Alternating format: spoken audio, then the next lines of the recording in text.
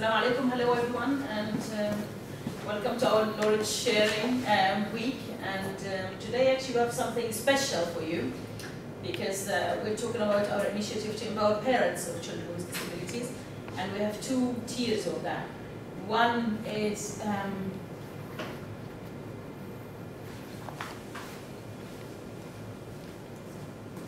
directly we will be looking at um, the um, National Teacher Assistant Project, and half of the National Teacher Assistant Project participants were parents of children with disabilities.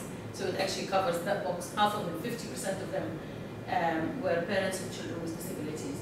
Uh, at the time, we actually we can confirm that um, 319 graduate graduated from that particular project over uh, the course of two and a half years, three years. So um, it's quite okay. Um, second is the ALO program, which was uh, in cooperation with the Jalila Foundation. And with the Jalila Foundation, um, obviously it's a parental program um, named ALF, which is Hamri in Arabic. And uh, it is designed to empower parents of children with disabilities um, uh, to the maximum to ensure that they can cope with everyday life, etc. So these are the two projects. Um, if we look at the National Teacher Assistant Project, it's very simple. It's a project that is turning Emirati housewives into professionals that they can earn a living, make difference to the country, contribute to the manpower, and at the same time actually empower children with disabilities inside the classroom.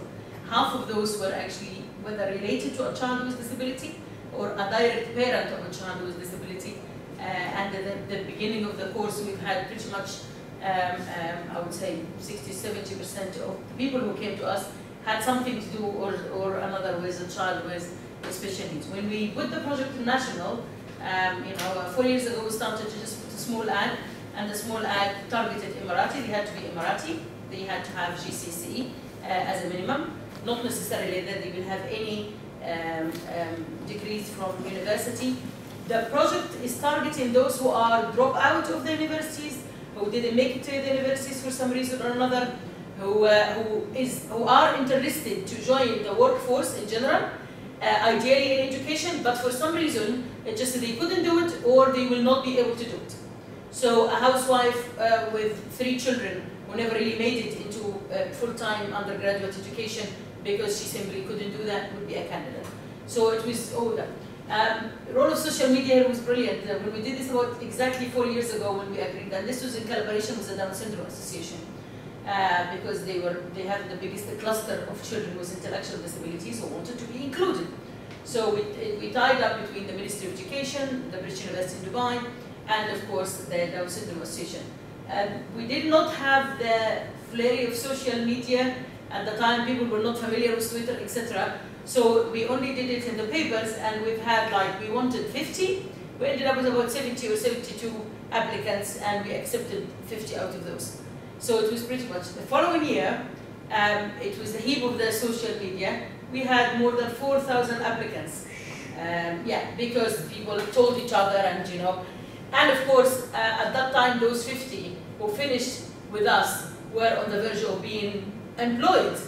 Um, so actually, we would manage to create a cadre for people with, uh, who, who, did not have this particular uh, degree among others. So that's the situation. Um, um, this is, these are the core components. Basically, this is an MOU with the Ministry of Education because quite frankly, without an MOU with the Ministry of Education, to actually um, ensure that those graduates get um, an employment, then it is no, no point at all whatsoever. And then right away, the British University basically would design and develop the program, um, go into the selection process. Selection process would have a personal interview. When we had the 4,000 uh, candidates, I think it was too overwhelming for BUiD. And I remember the days when we when staff were like overshocked. We've never seen as many Emiratis in our campus anywhere. In Dubai, you know, some of our staff never seen as many Emiratis. Majority of them were women. Some husbands dropped their wives. Some parents dropped their, um, um, you know, uh, children. Uh, well, I would say at that time they thought still children, and it was the same. That okay. Right. And what happened is, um, you know, it was like we were overwhelmed with it. We still managed to do it in three days. Uh, we allocated people from Ras Al Khaimah to come on a certain day, people from Fujairah to come on a certain day. And I remember, I don't know about the case, people will never ever forget those three days. It was just beautiful to see all these people um, coming in to seek employment, to seek training, to help with their country, and to, would like to be a teacher assistant, which is something brilliant. So um, uh, the, the, original stage like had only seven females, seven Emiratis, you know, blah, blah, blah. It was very, very small scale, but the other one, we had to open it up to 200. So we started by 50, the following year we took 200, and so on. Uh, the training would be five months of uh, theory and uh, same in practice. So for example, they would take 10 units of what they need uh, to know about uh, the school, and then after that we send them into school to do practicum, just like a teacher, and they would have credit hours and all that. Um, then the evaluation of the project then it was. How long is the practical? It's a, it's a, uh, two semesters. Yeah. Okay. Um, so basically, we would like very much, in collaboration with the Emirates Foundation, for it to be sustainable, uh, and again, doable, because many people actually thought it was not really doable at all. Uh, we, when we gathered them together, you know, we felt that this is, again, a, a great picture to see all these young Emiratis sitting together discussing that. This was the first day when we started to get them together. They felt very strong. They felt that um, they wanted to do difference, they wanted to develop themselves, uh, and it was interesting. Um, access to school was not easy whatsoever, obviously. Uh, this is a picture of a mother of a child with disability herself, and she became an assistant teacher, but she's obviously hugging the, the children in the, in the classroom. Not sure if it's clear, again, she's helping out with a child. Uh, a random school in Hatta taking children um, you know, with disabilities as the inclusive initiative started where we place uh, ours. And from this to this, basically, this was the first batch, and you've seen them all, all these Emiratis got their certificate, Dr. Abdullah here, and had a guest of honor, the head of Dubai uh, police, and ourselves, and it was just brilliant. We have other pictures, we didn't want to do too individual, but just, you know, we wanted to actually focus on the discussion rather, but it was, it was just amazing to see us with this magic wand in one year, changing people to become productive, to become doing difference in the country. And my hidden agenda was inclusive education, obviously, to ensure that all the children, the Emirates actually is scoping with, uh, with the fleet of children coming into school because now we're ratifying the United Nations Convention and that the country is hidden that way. However, we all know that without the resources, without the human resources, um, inclusion sometimes doesn't work as well as we wanted. And the last thing we need is to backfire. So it's no good to just open the schools with no preparation, no manpower to support that, and the teacher assistant was number one there. Having two adults in the classroom is a trend that we always voted for and we advocated for, and something that was not available in the government schools. Um, so basically it was like this spread in the values. Um, if you look at those two pictures, this particular gentleman, bless him, Abdullah was at that time 14, he didn't catch the inclusive process. This, this picture was taken about 10 years ago. Uh, because at that time he didn't have somebody to support him in school we did not have the whole concept of inclusive education. But this our little fella here is far more luckier. Uh, he is in a regular school. He goes like everybody else in the government school with his colleagues, with his peers, and he's learning at the same classroom, maybe not at the same pace, obviously, but at the same classroom, etc. So we are changing um, lives of people. The press went bonkers uh, on it, and we have people from marketing who will tell you and they were just pictures of us pretty much, I, I think, I remember at some stage actually almost every day. Every day you open up the, uh, the newspaper and you'll find testimonials from the teachers. The National started to pick it up. Uh, you know, our pictures were just round, you know, in Ras Al Khaimah, in Al We were everywhere. And I remember uh, hardly sleeping in my house twice in a row because we were just basically delivering everywhere. We would go personally to ensure that those who are being in a shell, because some of the girls have not really had, some of them had the GCSE 10 years ago, but they never thought they would be able to actually work and earn money and develop themselves. So we went physically to them to ensure that they can do this. Um, again, um, but the question here is, did we really do any difference? Because I'm not sure if we managed to do difference. We can always look at the RAM, um, and the, the easiest part is the physical part. But have we really, when we really empowered children, uh, when we empowered the parents to become, and, and, um, and uh, those Emirati women to become teacher assistants? Have we really done any difference? So these are some of the testimonials of those people. Uh, for example here, Ahlam, who's uh, 38, she's unmarried, she said that basically the program changed her life and they gave her a purpose to live for every day. She wanted to be a productive member of her community after years of staring at the ceiling, she says. So this is nice, this is really nice. Um, Nora, again, she's a mother of two, uh, and she's 42. This is the age where really you should be accomplished, a manager probably somewhere. And at that time she said, I never thought I could be working. One day I finished high school, got married, had children, and never had the chance to be in the workforce. Uh, again, she used to be very jealous of those working women. Now I'm going to be one of them. So, and etc. Lots of testimonials giving me the goosebumps because we are changing lives. Uh, and on and on and on. Teachers basically supervise those trainees and express their gratitude to have those what we call it helping hands. So actually when we interview the teachers, we're researchers, we do research for a living, uh, we have to look at our impact. So when we interviewed the teachers who are supervising those people, they actually said that we're extremely happy, you have those helping hands and God sent. Finally we have this concept of having a second adult in the classroom. They welcome the extra support to facilitate the inclusion, while the school, again, the teacher was a little bit, you know, excited that what we call the country is finally doing something about the inclusion, and finally they are investing in someone to become an assistant teacher, so it was brilliant. This is another picture of the second project, but before we leave this project, um, lots of press basically uh, were there. I sometimes felt like a movie star. I remember sometimes going from um, uh, one TV channel to another um, on a day just to, to make sure that we talk about it. People were very excited to see this, and people said that it was long argued that you know those people who are stuck between the GCSE and having a bachelor degree who never made it, and now in their 30s, young, fine women, mainly women, we always opened it for men, didn't have that much interest, uh, but which for understandable reasons, it's rather a feminine profession and everybody knows that in, in, in many countries you would have the same um, issue. But in general, just, you know, it, it was such a gate um, opened for those stuck in, you know, they have potentials, just they didn't know what to do.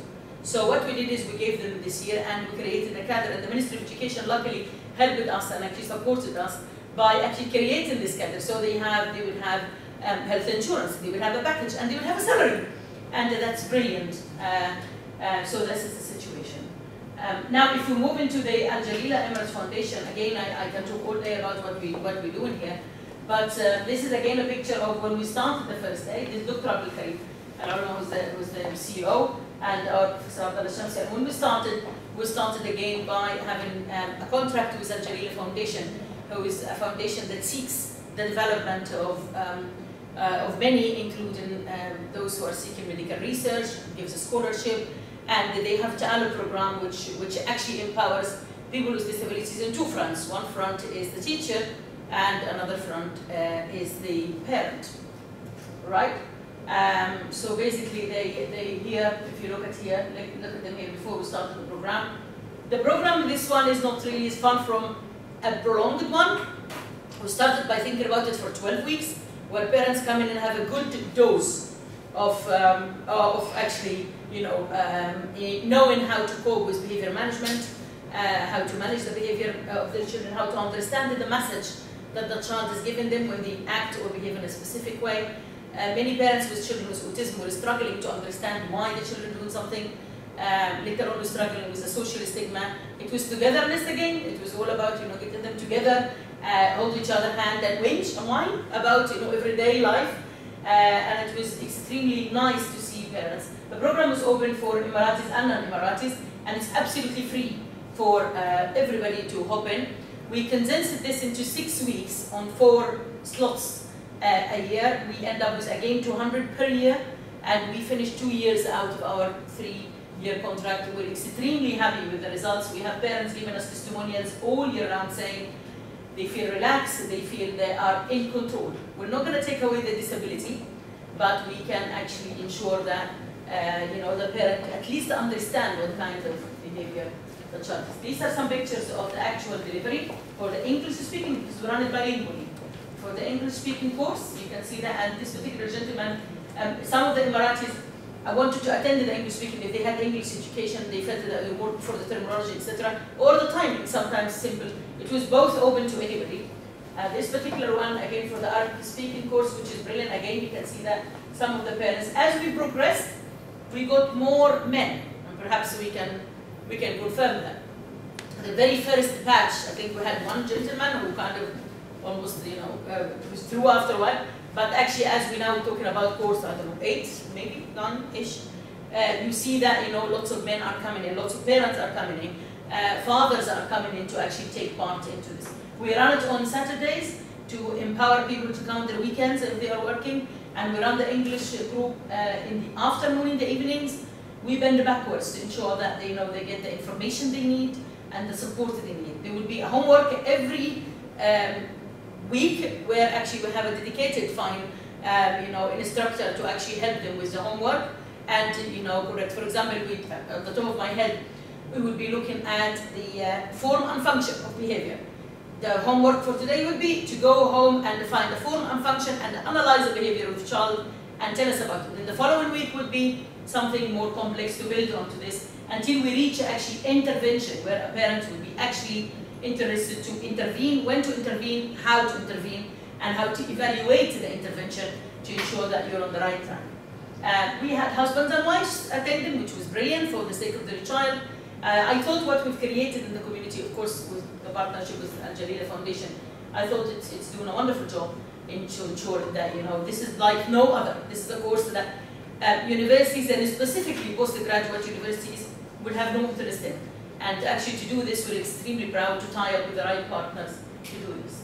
Um, uh, again, if you look at the press, anything to do with special needs, the press will pick it up, but this one uh, was, was absolutely fine. So far we have literally hundreds of parents uh, taken uh, Why are we doing this? We're doing this because of this. That's what we want. By moving and shaking and pushing um, a little bit. If you look at each particle, if you look at here, this one for example, actually moves a little bit, just like that, and let's like that, just like that, and let's like that.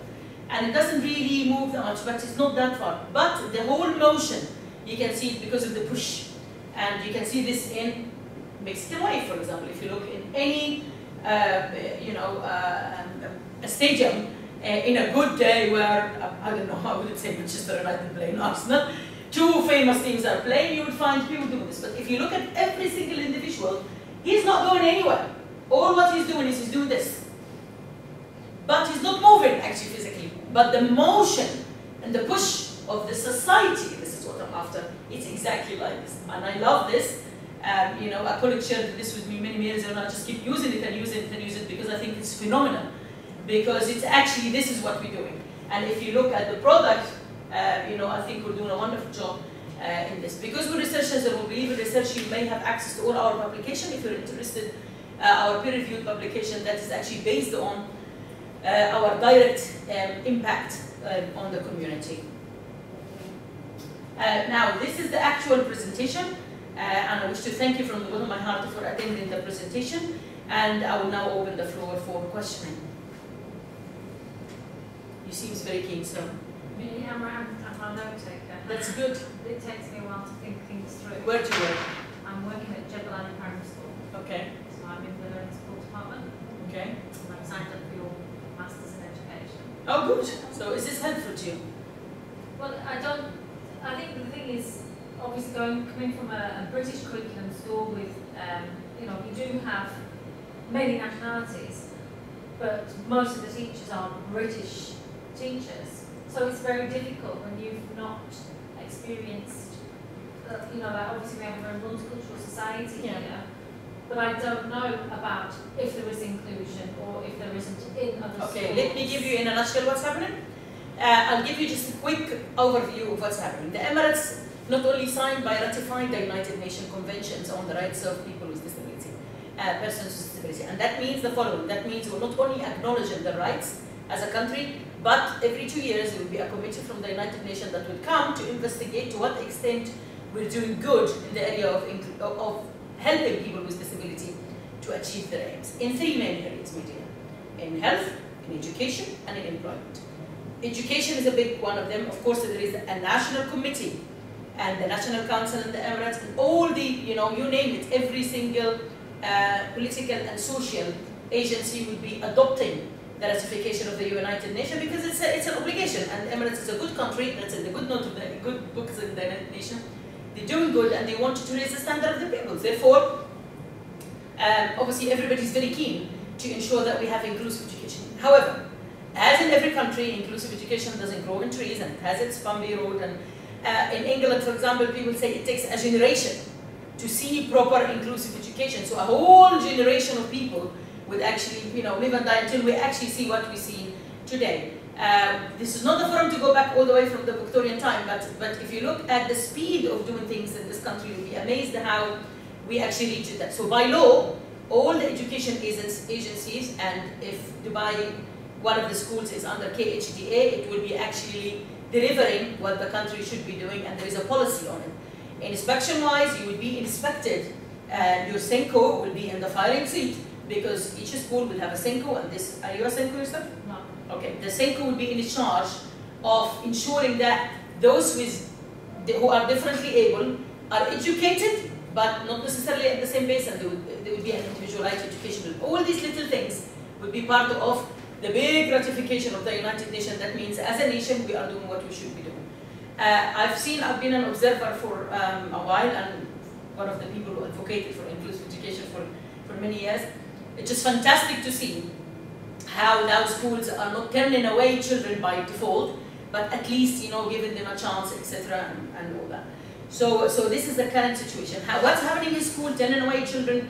We have different models. One model would be you have to bring a child with a shadow teacher, which is a very common model, where actually you secure as a parent, you secure what is needed for your child, and we do it. Other schools actually intervene by hiring their own shadow teachers, so at least they have a little bit of quality control some schools would say that we have a shadow teacher, but for pretty much the class rather, not a shadow, a classroom assistant rather than a shadow teacher.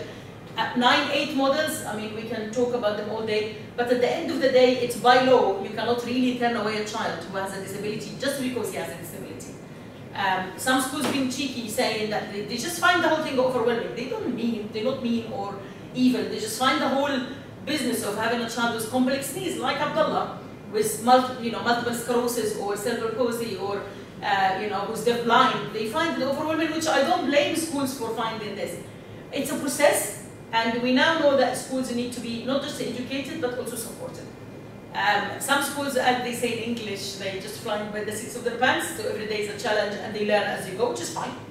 And some schools have proper SEN policy, special education policy. Some schools are better than others, but what we know, and, and um, uh, would, uh, and other agencies had hand to play in this, which is fantastic, is um, now KHDA, uh, uh, which is the main, basically, uh, regulator for education, they care so much about social education, and you cannot have an outstanding. You know, you can have good and outstanding. You cannot have an outstanding unless you actually check that box and ensure that the child is supported inside the school. There is an individualized education plan, parents are involved, etc. So this, what happens maybe varies, as in any country you would find that, but the good news is it's getting stronger by the day. Of course, there will be, as in any practice, hiccups and support, and dumping children in school is not really inclusive education, as simple as this. So that's a picture difference. Yeah, I mean, our school is good. We, you know, our learning support partners. That's good. That's good. We also, because in BUiD we're, we're research agencies, we have, I would say, tens of dissertations over 11 years now that actually looked at, for example, we have a very, very good dissertation on learning support units. And it's by um, uh, Terry uh, Spencer, who actually looked at how a very good famous school here dealt with the learning support units and how the children see it. And how, for example, the young ch the children voice, everybody's now to the children voice, how the young children see themselves as just going to a class but the older children are a little bit embarrassed to be pulled away and say, why am I'm going to the learning support? Am I dumb? Am I, you know, I'm stupid? And you know, it's all about peer pressure and wonderful piece of dissertation, and distinction, which I had the honor to supervise, about, you know, she looked deep inside to look at how children look at their learning support. It's interesting, we never think of children. And also how teachers looking at that, and is it really effective? So it's all about the.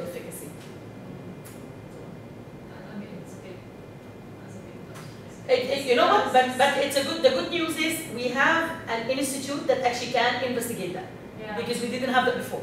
Yeah. So actually, to go out in the field and to spend a year looking at the learning, the efficacy of learning support unit, and how it is seen from different perspectives, and how the children feel about when they are pulled away. Uh, and we always advocate for support in the classroom, but is it feasible to have 30 children inside the classroom and to have, you know, um, Of course, of course, of course, of course.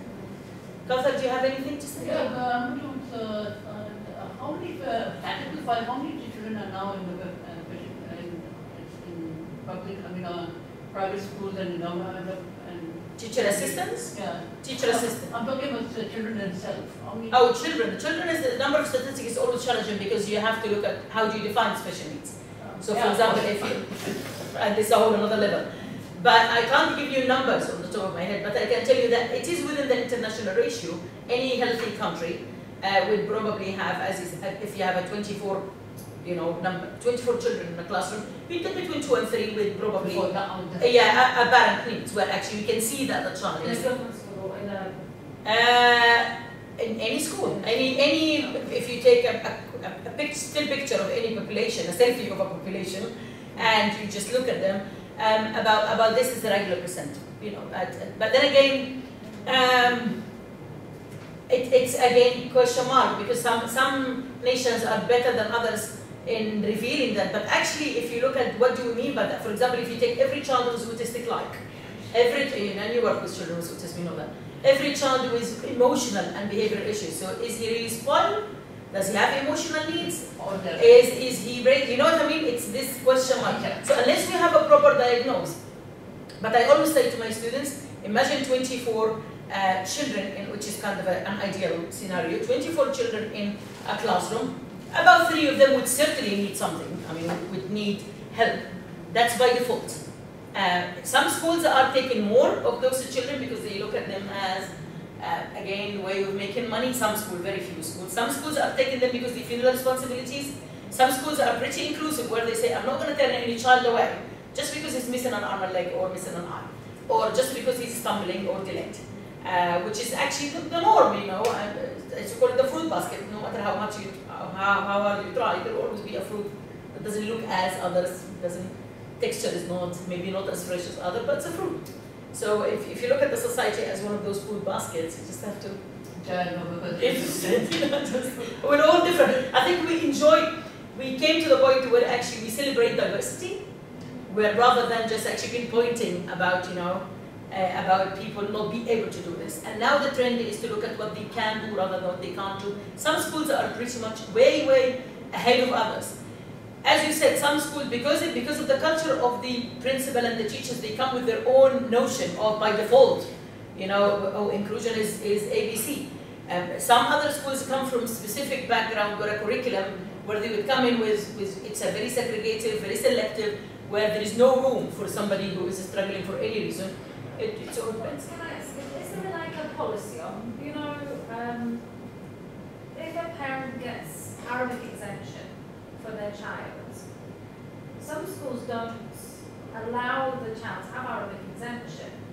By KHDA rules, yes. a Yes, there is. By KHDA rules, what you, what you need to do is the parents, along with the SENCO at the school, the special needs coordinator, should provide a report, and if this report needs to be coming from a professional, uh, they should be coming from a professional. They put a file together, portfolio, and it's you submit it online with the, what you call a supportive document. For example, here is my child with, So, I mean, for us at our school, we do, Yeah. so we have the Arabic department sending a letter, our Yeah. specialists yeah. sending letters to Yeah. say, you know, like they, they're not coping in English or. So who's who's stopping that? Who's No, so our school allows it, but Yeah. my son's. no by law, by law. son's school is not If- allowing. No, it's, If it's you not have an them. Arabic exemption, then because they obviously then have to pro- provide a separate teacher or someone to look after your child when Arabic's on. So they're not allowed. By law, no, by law they shouldn't. Parents should intervene, go into KHJ, there is a special department designated for that. The good news is there is an online application and there is online forum for parents as well. Uh, if not, there is, I, I can help you with that. You know, they're extremely good in this. I we even had a specific case two days ago where I actually helped it to, for a child to, to be exempted because the school kept the child, he has, he has clear autism and the school kept him until the report goes and it takes its toll for like a week or two. I picked up the phone, called uh, KHD, and they were extremely helpful. Said no, you know the child should be out of this unless we have. When, once they have the report and supportive evidence, then they will say it's in or out.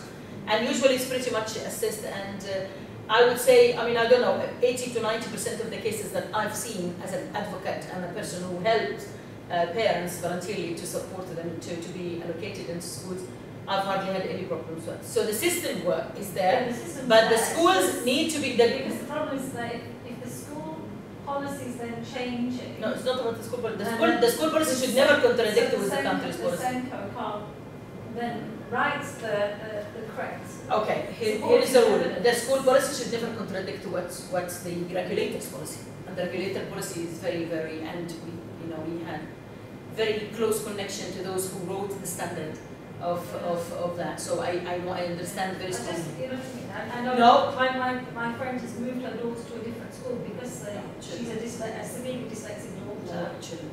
It should never, it should never happen. It should, shouldn't happen. The schools sometimes, I understand why they would be doing it. It's much easier to do this and close the door and say, no, no, just let's do it. Uh, but the law is there and it is in the, in the support of the child, basically. Right, any questions? Any, any, was this okay? Right, can I just take this opportunity to thank you very much for attending this and we would obviously continue to support you with disabilities all over the UAE and teachers and etc. So, and we hope to see you in future lectures. Thank you.